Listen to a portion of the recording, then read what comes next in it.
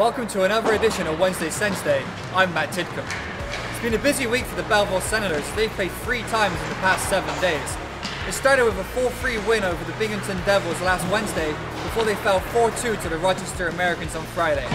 But it was on Saturday, on Remembrance Day, where Jordan Murray made history as he became the first Senator to score a hat trick for the team, albeit technically 24 hours later, in a 5-4 overtime win over the Rochester Americans.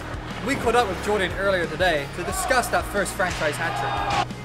Alright George, just first of all, just kind of what was that feeling like to get that, that first hat trick in Belleville Senators history?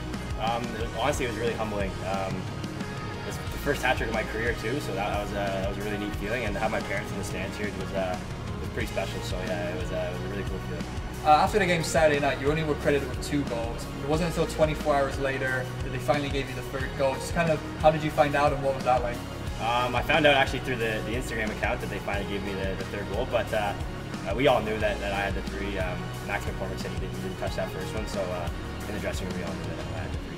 Uh, on the back end, you're currently playing with McCoy your Camps. Kind of what is it like to play with McCoy and how's that chemistry between you guys? Uh, it's really good. We're actually really good buddies off the ice too, so we get along great, and uh, we don't have a, have a problem telling each other if if we want the puck or if we don't want the puck in certain situations. So I think right now we're playing really well together, and hopefully we can keep it up obviously you're known as an offensive defenseman. Just kind of what is it like to be racking up points as you currently are in the AHL?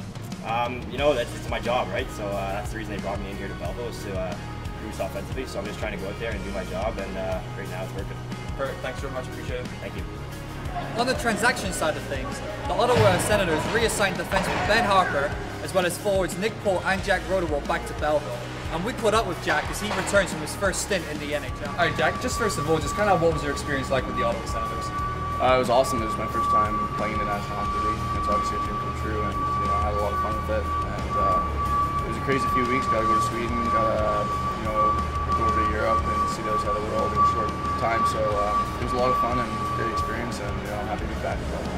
What were some of the things you learned from just seeing the guys that are at the top level, how they you know take care of their body every day, how they're working, how hard they work, how focused they are on uh, the games and whatnot. So you know uh, that's obviously what it's like down here too. I was trying to get up to that level, but uh, just seeing how they're how they work every day our professionals up there was nice uh, thing to see.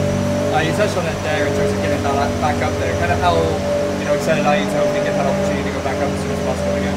Yeah, I mean I'm, I'm down here now. I'm gonna work hard down here. I'm gonna you know, get back to how I was playing before I went up, and um, you know just try and contribute down here as much as possible, offensively and defensively. And you know what, uh, if I do those things, I'll play at the top. Uh, your journey is quite well documented, undrafted, had to go from the ECHL to get a deal, the AHL to get a deal, then you signed an NHL deal, and a day later you went to Ottawa. Just kind of what is that all like for you?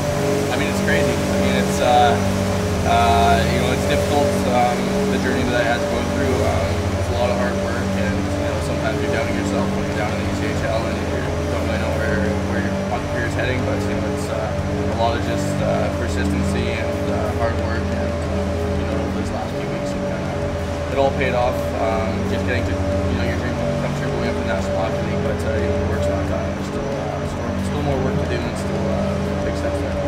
Great, thanks Jack. Appreciate this. All right, thank you. The Senators will spend the next two weeks on the road as they will face Utica as well as facing Charlotte twice and Toronto twice before they return to the Yardman Arena to face the Laval Rocket on November 29th. Tickets for that game and games into December are available at www.bellevillesens.com.